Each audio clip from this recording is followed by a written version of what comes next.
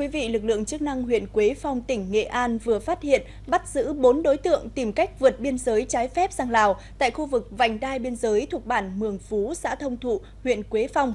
Một đối tượng trong số này đã bị khởi tố về hành vi tổ chức môi giới cho người khác trốn đi nước ngoài trái phép. Bốn đối tượng gồm Lô Văn Thái sinh năm 1991, cư trú tại xã Thông Thụ, huyện Quế Phong và Phạm Hùng Tiến sinh năm 1984, Phạm Văn Dũng sinh năm 1992, Hồ Văn Thái sinh năm 1993, đều cư trú tại xã Diễn Liên, huyện Diễn Châu.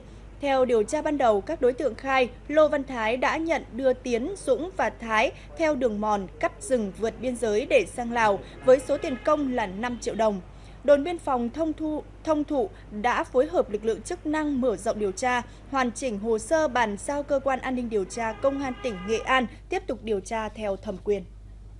Thưa quý vị, trong khi các doanh nghiệp đang tái đàn lợn rất mạnh ờ, do chủ động được nguồn con giống thì các nông hộ lại có mức tái đàn tăng đàn chậm nên dự kiến là trong quý 3 cả nước vẫn thiếu hụt khoảng 200.000 con lợn. Đây là thông tin mới được Cục chăn nuôi đưa ra.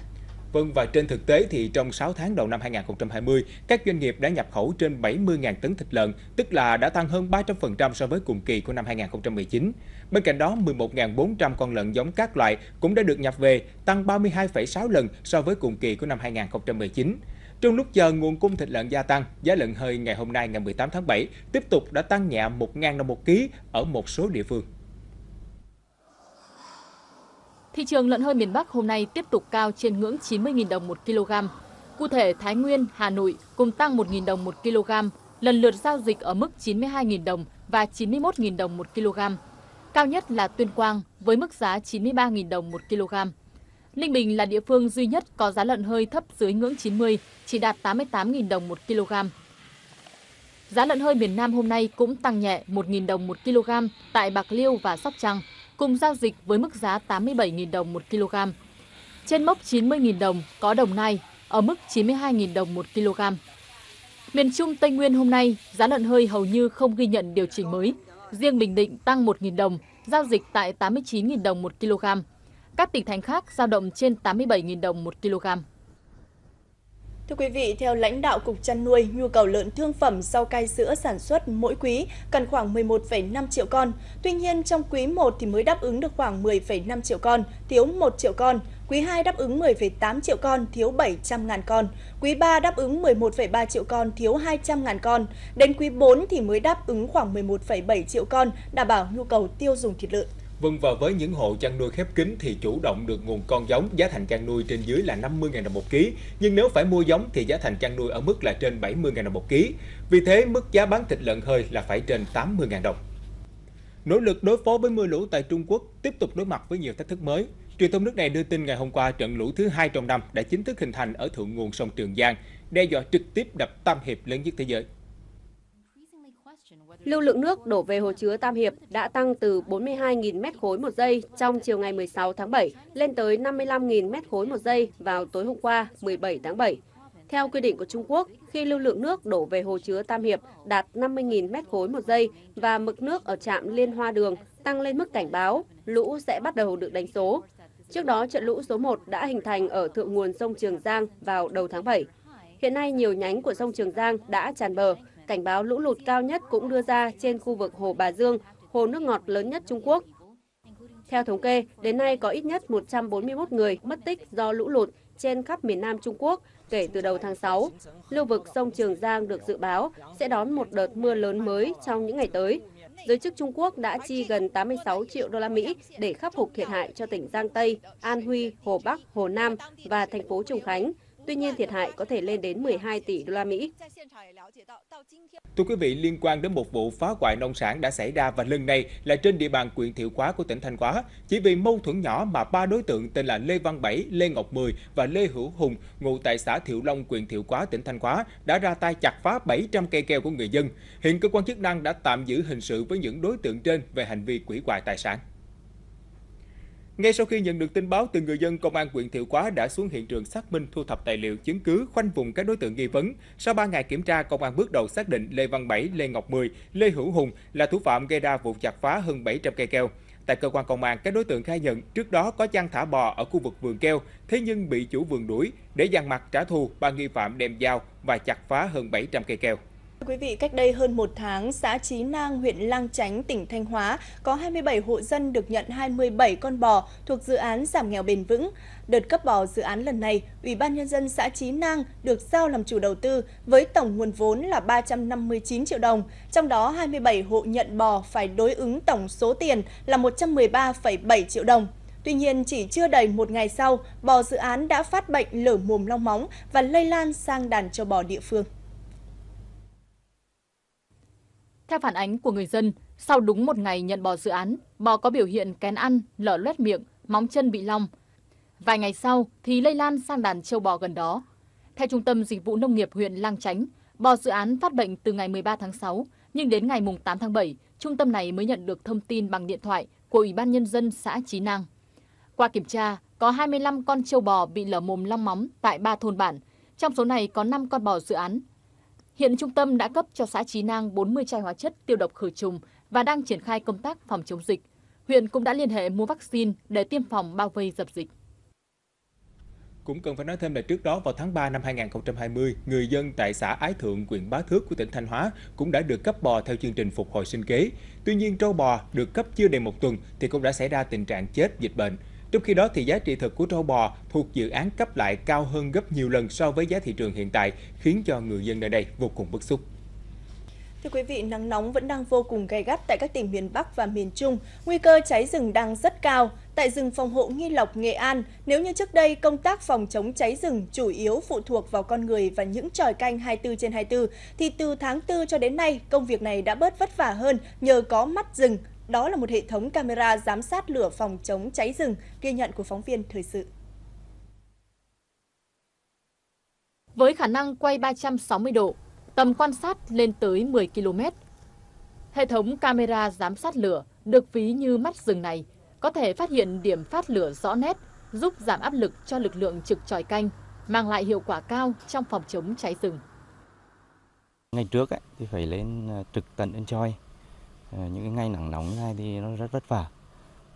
Hiện nay có cái hệ thống camera thì à, cơ bản là camera đã là báo báo quát được cơ bản cái khu vực rừng rồi là để mình phát hiện được sớm cái đám cháy.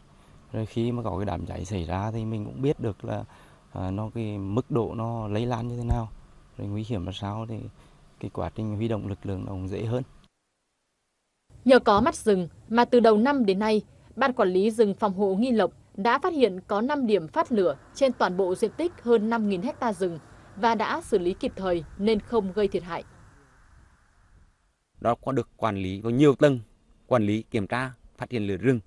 Anh em đội bàn có thể là quan sát lửa rừng của nhau được. Với không những là của đơn vị mình mà anh em cán bộ của trong toàn thể ban thì cũng được cài một cái ứng dụng để kiểm tra. Có thể là anh này trực trực mà không phát hiện được thì người khác phát hiện được. Hệ thống mắt rừng này được ngành chức năng đánh giá cao và khuyến khích nhân rộng để nâng cao hiệu quả công tác phòng chống cháy rừng, bảo vệ lá phổi xanh của trái đất. Thưa quý vị và các bạn, các địa phương cần nghiên cứu kỹ mô hình chăn nuôi an toàn sinh học 4F của tập đoàn Quế Lâm để về áp dụng vào lĩnh vực chăn nuôi của địa phương mình.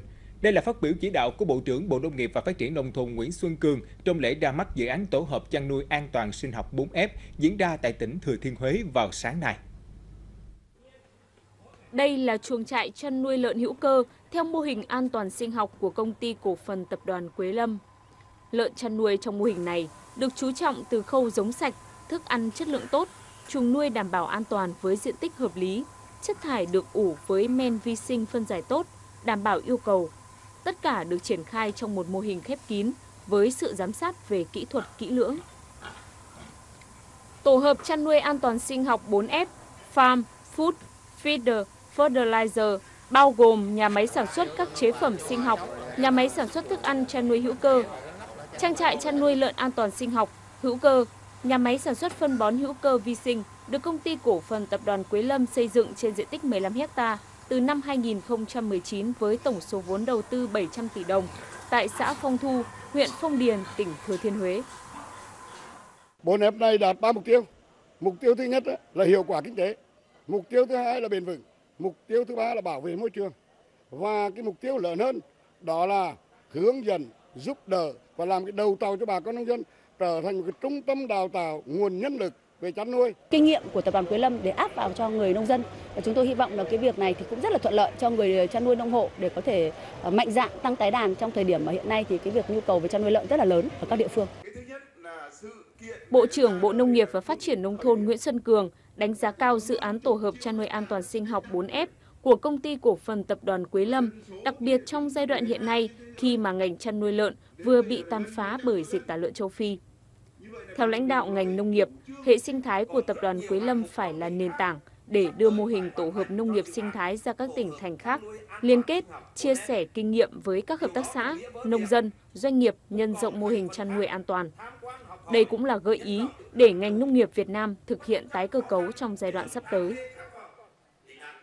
Chúng tôi đánh giá đây là một sự kiện rất quan trọng cho ngành nông nghiệp. Bất kỳ trong hành động kinh tế nào, sản xuất nào cũng phải chú ý ba trục. Một là kinh tế, hai là môi trường, ba là an sinh. Thoát ni ba yếu tố này không làm nên câu chuyện phát triển bền vững. Chính vì thế, tới đây nền nông nghiệp Việt Nam tái cơ cấu theo hướng một nền nông nghiệp thông minh Dự án tổ hợp chăn nuôi an toàn sinh học 4F là dự án thực hiện hóa khái niệm kinh tế tuần hoàn trong nông nghiệp trong thế kỷ 21. Dự án này được kỳ vọng sẽ là tiền đề để các nông hộ chăn nuôi lợn trên cả nước thực hiện công tác tái đàn trong thời gian tới. Thưa quý vị, thưa các bạn, sau 4 ngày diễn ra việc người dân chặn xe rác vào khu liên hiệp xử lý chất thải Nam Sơn, huyện Sóc Sơn, chiều qua, lãnh đạo thành phố Hà Nội đã có cuộc đối thoại với người dân hai xã Hồng Kỳ và Nam Sơn thuộc khu vực nằm trong vùng ảnh hưởng từ 0 đến 500 m.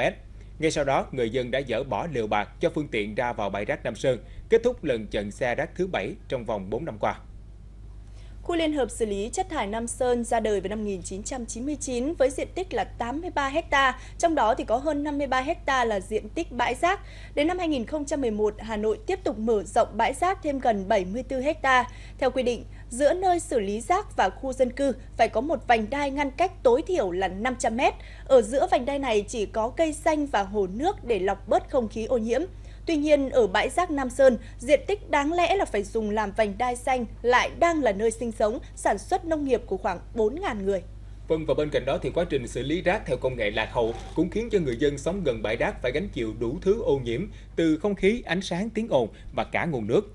Sau 20 năm gánh chịu mùi hôi thối từ rác thải của thủ đô, người dân ở đây đã được cam kết hứa hẹn di dời rất nhiều lần, song đến nay vẫn chưa được thực hiện. Tại buổi đối thoại với lãnh đạo thành phố Hà Nội vào chiều qua, đại diện người dân các xã Nam Sơn, Hồng Kỳ đã bày tỏ những bức xúc về phương án bồi thường, hỗ trợ giải phóng mặt bằng dự án di dân vùng ảnh hưởng môi trường của khu liên hợp xử lý chất thải Sóc Sơn.